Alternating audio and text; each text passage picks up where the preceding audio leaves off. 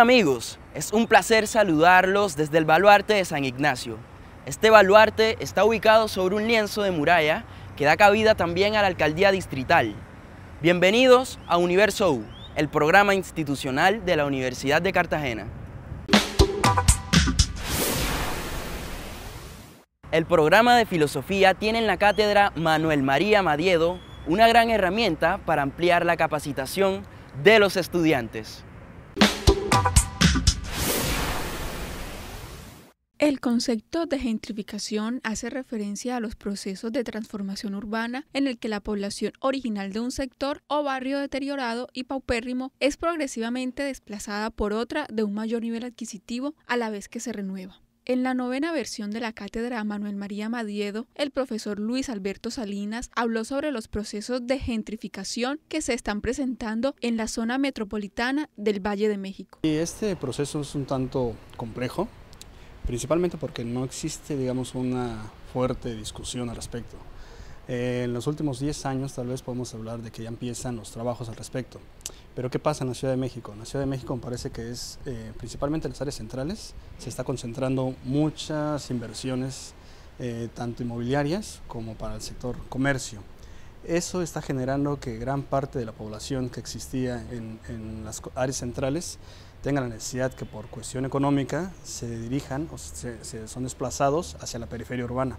Por su parte, Ana Melisa Pardo expuso los avances de su investigación sobre el perfil sociodemográfico, inserción laboral y remesas de los colombianos que emigran a México, una situación sobre la que se ha investigado poco. México se considera sobre todo un país de expulsión y tránsito, sobre todo de centroamericanos que intentan cruzar hacia Estados Unidos, pero la investigadora nos cuenta sobre algunas características de la población colombiana que vive allí. Un aspecto importante de la, de la migración colombiana es eh, en México, a diferencia, por ejemplo, de la que vemos eh, hacia otros países como eh, Chile, es que la población colombiana tiene un perfil un poco más, al menos en la parte educativa, un, perfil educativo más alto, están en edades laborales, incluso llegan a, la mayoría tienen posgrado o van a estudiar. Hay una gran cantidad de colombianos estudiando en, México. Entonces es una, una población con unas características que realmente le facilita incorporarse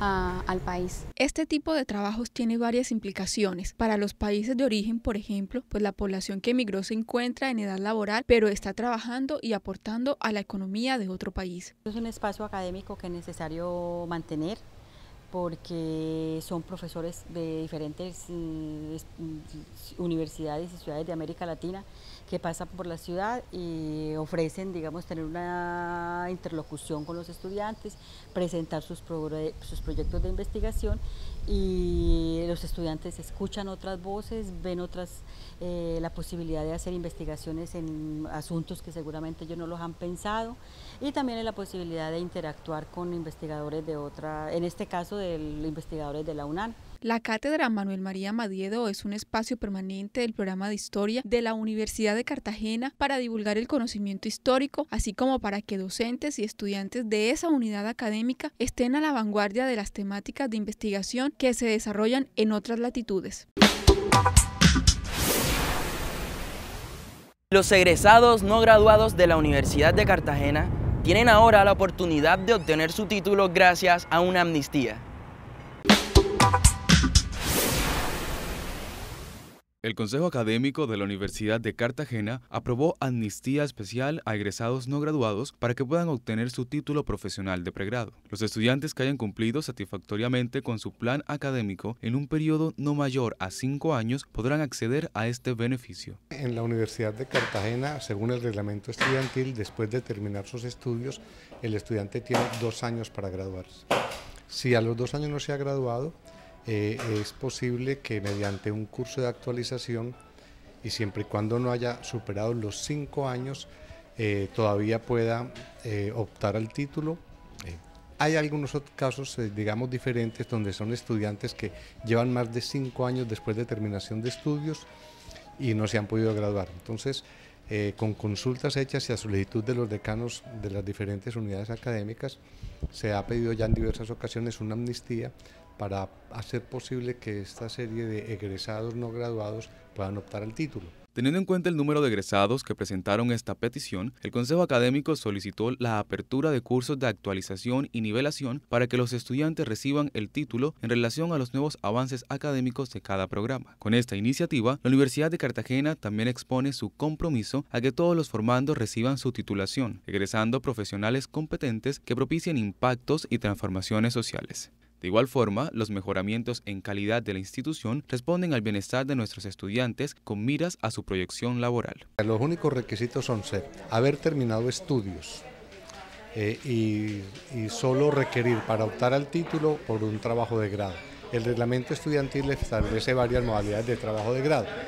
Eh, en lo que hacen esos cursos de actualización es hacer que el estudiante pueda realmente cumplir con ese requisito de grado que le falta. El único requisito es haber terminado estudios, o sea, ser egresado no graduado de la Universidad de Cartagena y llevar más de cinco años sin haberse podido graduar. Con este acuerdo, los estudiantes podrán hacer la solicitud y constituirse en los grupos requeridos para la amnistía hasta el 31 de diciembre de 2015. Vamos a una pausa y pronto regresamos a Universo U.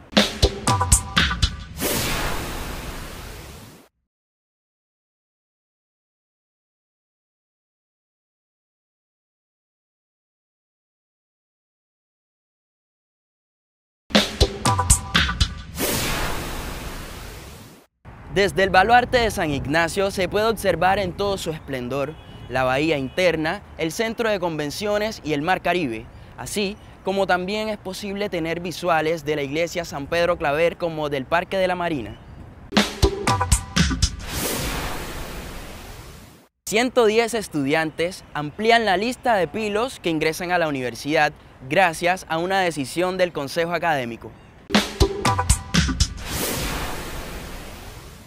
El Consejo Académico de la Universidad de Cartagena, bajo el acuerdo número 35 del 7 de octubre de 2015, aprobó cinco cupos adicionales en cada uno de los 22 programas de pregrado presenciales ofertados por la institución a los bachilleres beneficiarios del Programa de Gobierno Nacional Ser Pilo Paga. Esta iniciativa responde al Acuerdo por lo Superior 2034, propuesta de política pública para la excelencia de la educación superior en Colombia en el escenario de la paz, asumiendo el compromiso de cobertura y extensión que promueve la institución académica. La política eh, aplica a darle oportunidad de ingreso a la educación superior con calidad porque estos estudiantes eh, van a ser financiados tanto en su matrícula como en su sostenibilidad en instituciones de educación superior acreditadas.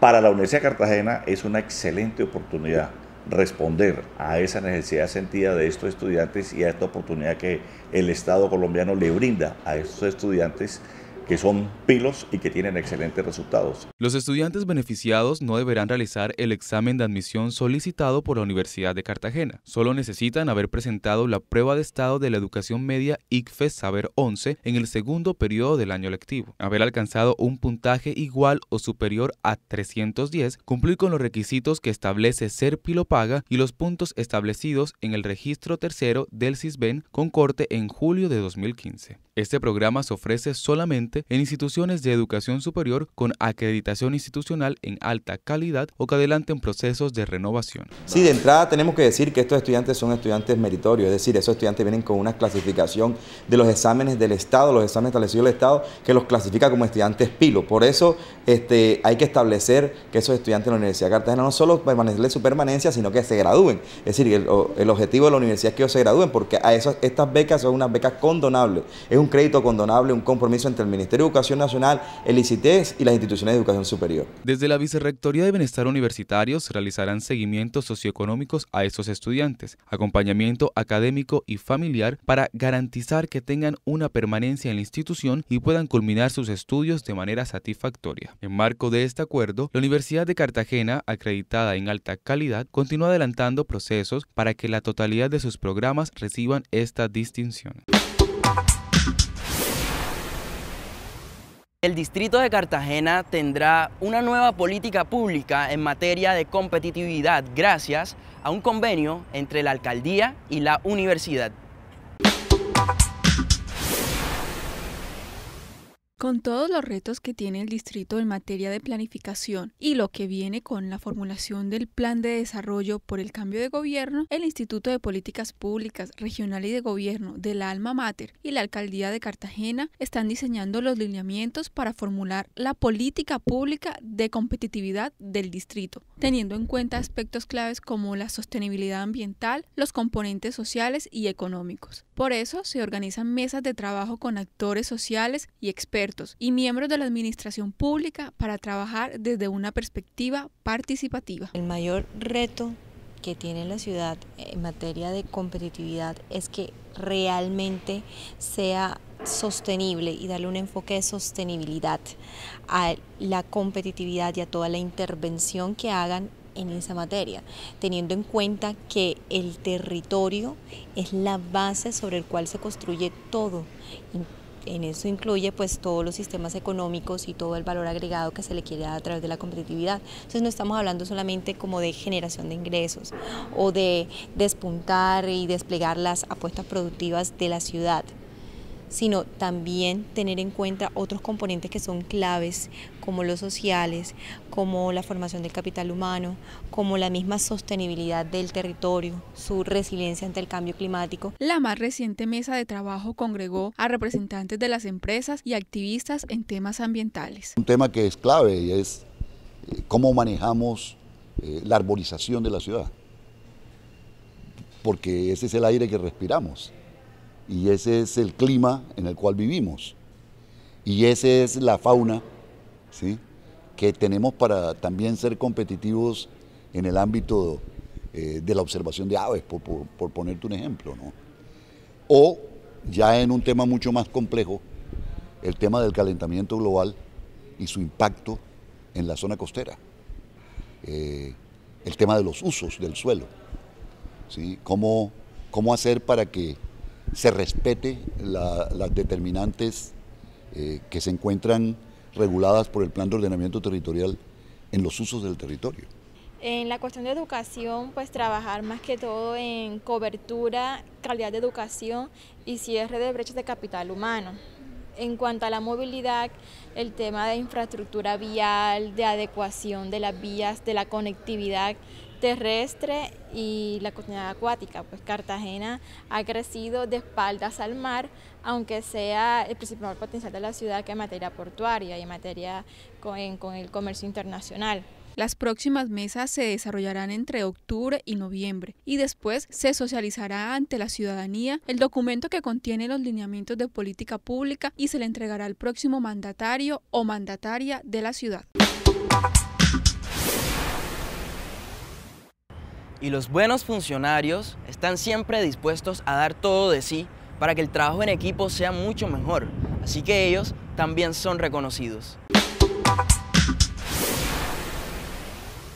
En el marco de la celebración de los 188 años de la Universidad de Cartagena, se condecoraron los funcionarios más destacados, reconocimiento que resalta la entrega, el compromiso y el sentido de pertenencia de la gran familia udeseísta. El plan de incentivos de la Universidad de Cartagena va de la mano con el sistema de evaluación del desempeño por competencias laborales y en la medida en que nuestros funcionarios obtengan una calificación sobresaliente de, eh, de 90 a 100, tienen la oportunidad de acceder a este tipo de, de planes o de incentivos.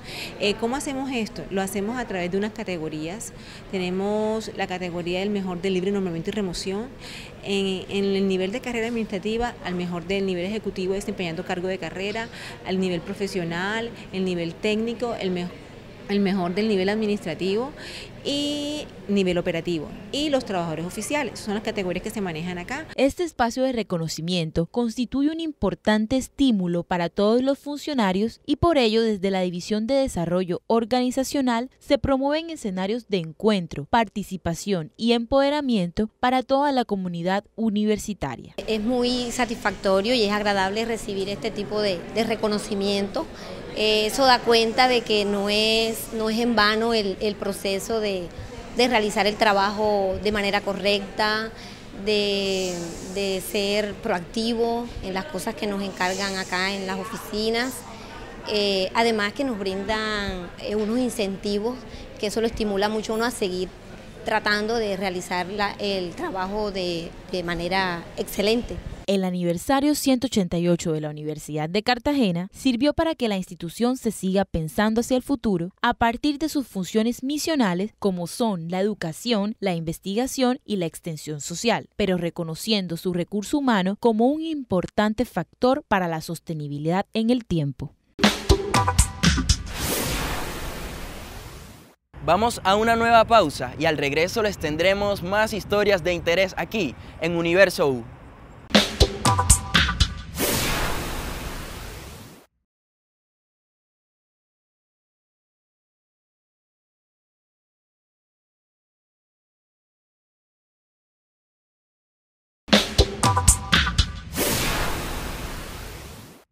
En uno de sus puntos estratégicos, en el baluarte de San Ignacio se encuentra una enorme garita que servía para observar al enemigo en los tiempos coloniales.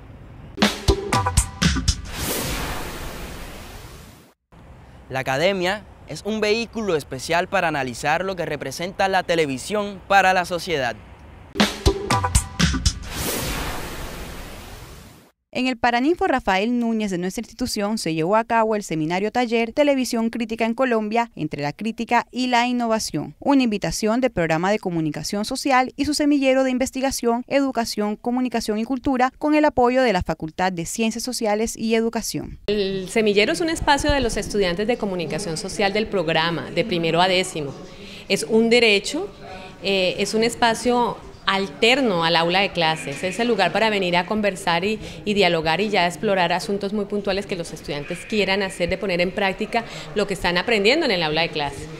Tienen derechos, un espacio institucional eh, y la idea es agruparlos a ustedes, convocarlos semestralmente, anualmente y este evento académico surge en iniciativa de los chicos que quieren ir a otro evento académico.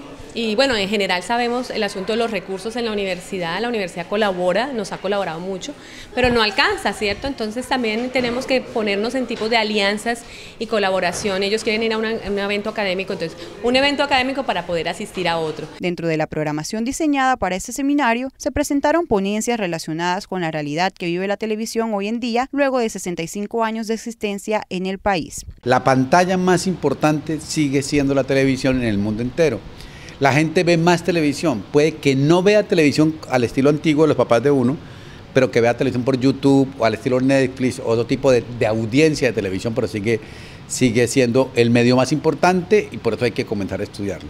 Segundo, es el medio más significativo en el pegamento cultural. Lo que más nos junta como país es la televisión que vemos juntos. Lo que tenemos en común tú, yo, el camarógrafo y vos, son la televisión que vemos, porque es algo que vemos los papás, los mamás, los niños, los jóvenes, que nos, nos, nos, pega junto con el fútbol y las músicas, son como gente, las cosas que nos pegan como país. Y tercero, porque la televisión está cambiando muchísimo. O sea, hay una cosa que la televisión evolucionó, que la televisión hoy es telenovelas al estilo clásico, pero bionovelas, pero narconovelas, pero eh, está evolucionando las mismas novelas pero además de eso tenemos los realities, pero además de los realities tenemos las series de televisión mundializadas que son buenísimas, que se ven por HBO, por Netflix, por American Network. Ese tipo de cosas construyen otro tipo de televisión para eso. Los asistentes a este seminario eran estudiantes de las universidades de Cartagena, como también de la Universidad Jorge Tadeo Lozano y la Universidad Tecnológica de Bolívar. Odontólogos de la Universidad de Cartagena ganaron premio de investigación en un evento realizado en Bogotá. El grupo de investigadores de la Facultad de Odontología ganó premio a la investigación en medicina oral en las categorías de docente, pregrado y Johnson Johnson. La Asociación de Facultades de Odontología Colombiana, actualmente integrada por 24 facultades, se unió a esta premiación otorgando reconocimientos a quienes realicen investigaciones en torno a la salud pública, aportando beneficios desde sus conocimientos en atención a las comunidades.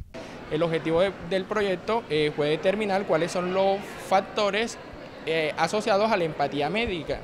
Eh, en estudiantes de medicina, odontología y enfermería, los resultados nos mostraron que por lo menos eh, estudiantes que, tienen, que no tienen buena funcionalidad familiar, que no tienen soportes de amigos y que tienen bajo rendimiento académico, tienen menores niveles de empatía. Y como está demostrado que la empatía es un atributo cognitivo que ayuda a mejorar la atención clínica, por lo tanto, si un estudiante tiene bajos niveles de empatía, eh, lo más probable es que cuando sea profesional va a prestar una atención en salud eh, con baja calidad, eh, poco humanizada. Entonces la idea es que a través de la universidad, a través de la Oficina de Bienestar Universitario, se logren identificar cuáles son los estudiantes que están teniendo bajos niveles de empatía, con los factores que nosotros identificamos, poder intervenirlos y así eh, se puedan aumentar los niveles de empatía, se mejoren la atención que prestan los estudiantes de ciencias de la salud en la práctica clínica y por lo tanto eh, se mejore el estado de salud de los pacientes que atendemos acá en la universidad. El grupo interdisciplinario de la Facultad de Odontología de nuestra institución hizo aportes significativos en los premios investigativos con aportes igualmente relacionados con el cáncer de colon, uno de los cuatro tipos de cáncer con más índices de mortalidad en el mundo. Principalmente lo que buscamos con este proyecto es evaluar a partir de un simple examen estomatológico la presencia de la ausencia de un órgano dentario y además de que el paciente nos refiera de que nunca le erupciona el diente. Junto a esto se le realizará una radiografía panorámica o una ortopantomografía para detectar de que realmente nunca se formó el germen dentario. Una vez evaluemos y verifiquemos esto, se procederá a hacer un examen genético de rutina para detectar polimorfismos específicamente en el gen ASIN2, el cual es un polimorfismo que se encuentra tanto en personas que presentan hipodoncia como en personas que presentan cáncer de colon. Investigaciones sobre el estudio de alteraciones mentales como la ansiedad, la depresión, la falta de placer, entre otros, fueron presentados con el fin de que sean aplicados a los estudiantes de odontología para generar validez y confiabilidad en ellos para el grupo de investigación porque genera crecimiento de una línea de investigación que estamos tratando de hacer eh, que sea más fuerte al interior del grupo de investigación, que es la investigación en salud mental, y adicionalmente esto permitiría que en futuras investigaciones si otros investigadores quieren utilizar este instrumento, lo puedan utilizar libremente porque nosotros ya hemos determinado previamente que el instrumento sí sirve, o esa escala, sí sirve para medir esa presencia de trastornos mentales comunes en una población de estudiantes de Cartagena. En el encuentro con el rector Edgar Parra Chacón fueron recibidos los concursantes quienes de manera formal presentaron sus proyectos de investigación. Y hasta aquí llega esta emisión de Universo U. Los esperamos la próxima semana para contarles más historias de interés. Y no olviden que pueden seguirnos en nuestras redes sociales. Hasta pronto.